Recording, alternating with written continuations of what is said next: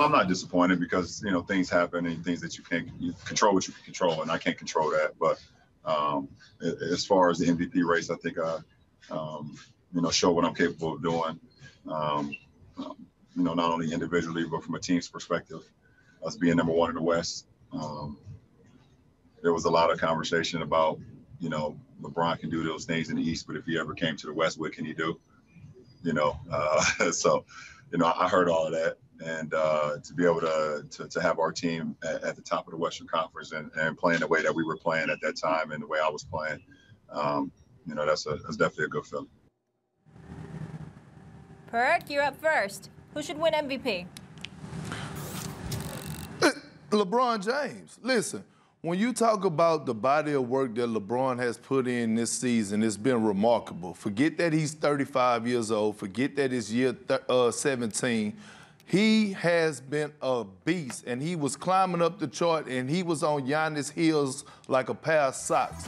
And when I'm thinking of the MVP, I'm thinking of the most valuable player to your team, right? When I look at Giannis, Giannis is having a hell of a season, but he's the MDP, the most dominant player, right? Because he's dominating in every statistical category. But if I take Giannis off the Milwaukee Bucks, the Milwaukee Bucks are still a mediocre team. They're still going to be a five, six, seven, eight seed in the East.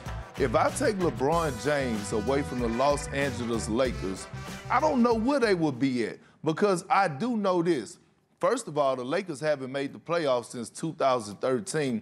That was seven years ago. Second of all, when LeBron James is off the court, the Lakers rank 28 offensively. When he's on the court, they rank second. That's a huge drop off. So that shows the value that LeBron James brings to his ball club. And then on top of that, this is his first 2010 season. How crazy does that sound? This is his first year averaging 20 and 10. And then during the pandemic, for me to hear one of his co-workers, one of his opponents, Damian Lillard, do an interview, and they asked him, who is your who is this year's MVP for you? And he said LeBron James. That was enough for me because Dame Dollar didn't even have to answer that question, but he did, and he said one reason why is because LeBron James is in a tough Western Conference and he's doing it at an extremely high level. So Max, you could have the floor with all your stats and all your Wilt Chamberlain numbers about Giannis or whatever the case may be,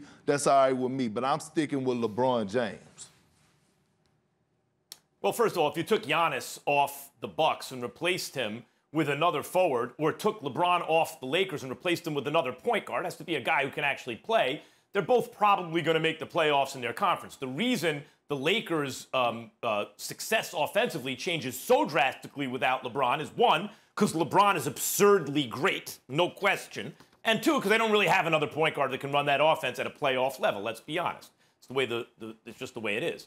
Um, now let's get down to really what this is about. First of all, let me take your argument. What would LeBron's argument? What would LeBron do in the West? LeBron, you're number one in the Western Conference regular season in a conference that the Warriors don't play in anymore, really. KD and Clay are both off the Warriors this year, and Steph missed time. What are you talking about? If the unbeatable Warriors, the one LeBron was lucky to get a single win in the last against the last time he played them in the finals, were still at full strength, the Lakers clearly wouldn't be number one in the West. But at any rate, let, us even put that aside. The the wordplay about most dominant, best, most valuable, it's all nonsense. It all means the same thing. Best is defined as who's the best for their team. Best is the who, when you take it all, it all away, who gets you closest to a win? The answer is Giannis. Forget about the fact that he's averaging almost 30, 14, and 6 with a steal and a block efficient points. That he's leading the league in PER, player efficiency rating, again on offense. And that he's better than LeBron defensively. Forget about all that stuff. LeBron gets extra credit for being this kind of point guard glue guy who's brought them all along, and he deserves credit for that. But guys, let's look at this soberly. Any team ever with two top five players on it is always a powerhouse. You can't find me a single example where those are two top five players in the league that year, and they're not a powerhouse. So the Lakers are a powerhouse. If you put LeBron and AD together, you're going to have a powerhouse team. Now, does LeBron deserve more credit than AD for that? Arguably, he has the ball in his hand. He's deciding the offense. I agree about his wisdom and his championship pedigree. That helps them. But but LeBron and AD are neck and neck this year for best player on the Lakers. The, the freak doesn't have like Middleton's an all-star player this year, Max- caliber. There's no AD on that team. Max, uh, Thanks for watching ESPN on YouTube. For live streaming sports and premium content, subscribe to ESPN Plus.